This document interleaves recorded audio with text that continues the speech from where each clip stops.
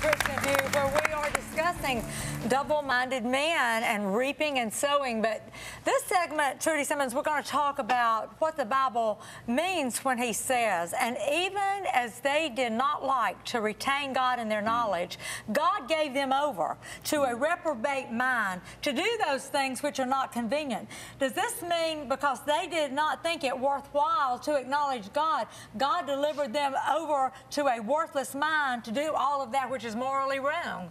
I think so. And if we go back to what a, what a, what this means, is a deprived, undisciplined, or a wicked person, someone rejected by God and almost beyond hope of salvation. That's, So what, that's the us- question right there. Are they beyond, once he turns them over to that reprobate mind, do they have any chance of salvation?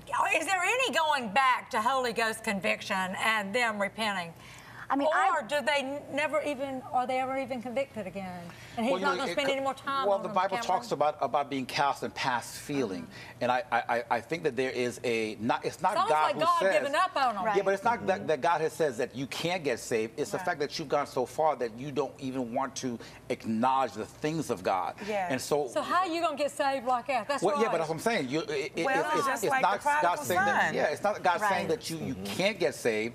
It's the fact that you d- decide within yourself that you don't want to even head towards the things of God at Right, all. Right. Mm-hmm. But there's always that's a choice. That's still a possibility in choice. God, with God, While there's all breath, there's hope. possible. Always. Think about the thief on the cross in the very last Right. seconds of his out. life. That's right. The very Well, see, but you have you have both of those at the same time. You have a, a, a thief on the left, a thief on the right, mm-hmm. and so one One chose. let continued with his reprobate mind, and the other one repented. So while there's breath, there's hope, but it's still a choice on, Right, on, on be- our part Well, the whether we're going scripture says he gave them over, you know, to do the things that are inconvenient. To me, it means that God gave them over to bear the um, fullest extent of their sin, the fruit of their sins. Yeah. Allow them, you know, their mind, that's the way they choose to go. So, you know, the Spirit tells us, except he draws us, we can't even come. That's right. So, we talked about That's the right, prodigal and that's son, the prodigal son. right? Yes, The prodigal yes, son. I mean, the father gave him over to do what he wanted to do, to spend all of his money. But then the, the prodigal son realized, wait a He minute, came to he came to He came to himself. So I think we still have time yes. while Yeah. there's breath He had in to us make a choice. to come to ourselves. But. I'm thinking mm-hmm. about, and that's all well, but I'm thinking about these people standing in their pew on Sunday Right. morning with their head mm-hmm. bowed and eyes closed,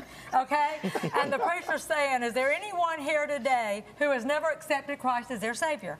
And they know they haven't, okay? They know they haven't. And they're holding on to that bench so tight because they're under so much conviction and they're, and they're hanging on, but they don't dare won't step out. they don't. yes. All right, so then a couple of weeks later, they come back again. Bow your heads, close your eyes. And they're holding on and they never go. At some point, it's almost like God gives up and just stops convicting them. Well, you know, but think about think about the fact that that Moses had to say to God, "No, you mm-hmm. can't do that," mm-hmm. because he repented that he had made man. That's a, that's an awesome thing to think about. And so when when you- when you're on this side and, and he's done everything to the point of coming and dying on the cross, Right.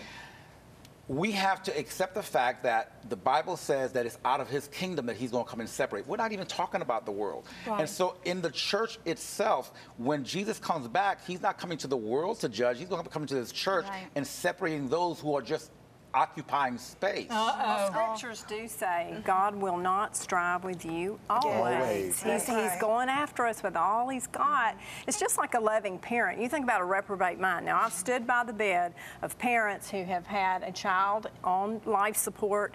They're saying to the parent, there's no brain activity, there's, there's no functioning of the brain, and I see the agony on that parent's Right. face. Okay, well, that parent could not love that child more than God That's loves right. that child or more That's than right. God loves us. Right. And when, when we're talking about a reprobate mind, think about the, the, the loving heart of Yes. God, that it grieves him because he created that mind. Right. He created, just like I believe God loved Hitler. I believe Yes. God Right. loves Kim, Well, look about whatever, Pharaoh. the Right. Korean. Consider Pharaoh. Yes, Yes. yes. Mm-hmm. I, I believe that he loves everyone. Sure he does. But he's not going to strive with us always. And if a And he- person continues to mm-hmm. choose evil, then their mind has Because become God's clouded with "Look And the thing about it is, is, is what we have to realize is because God is so loving, you know, it's not, He doesn't just say, okay, you keep doing that and I'm just going to turn my back. He sends us all kinds of signs Sure he does. one, uh, warnings, you know, to let us know that that we're does. going on the right, Right, track. all But then when we red continue to ignore